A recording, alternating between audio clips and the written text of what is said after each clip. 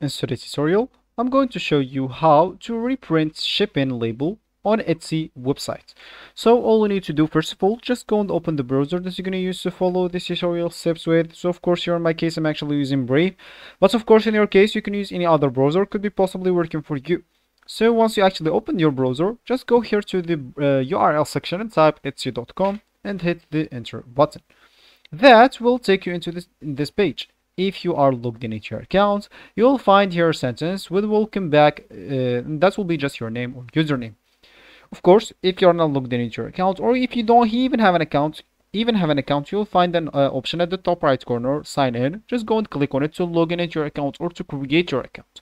Of course, you'll be able both of that, of those options with a Google account, Facebook account, or Apple account if you don't want to go through all the boring steps of creating your account. So once you finished or logged in into your account, you'll find yourself here at this home page again and with the census. Once you're here, and if you want to reprint shipping label, simply just go to your shopping manager by clicking at this icon of shop manager. So once you click on that, you'll find yourself here at this home or at this main page. And of course, from here, you'd like to click at the orders and shipping from here. So of course, uh, for me, I don't have any orders yet, but for you, if you are actually searching for this video, you sure you for sure have some orders here.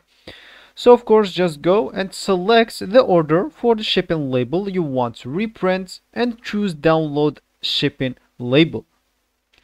And how that's how you will be able to reprint your shipping label of any order you have here. You maybe have several ones, so select one by one to reprint one by one because you will not be able to do it all in the same time.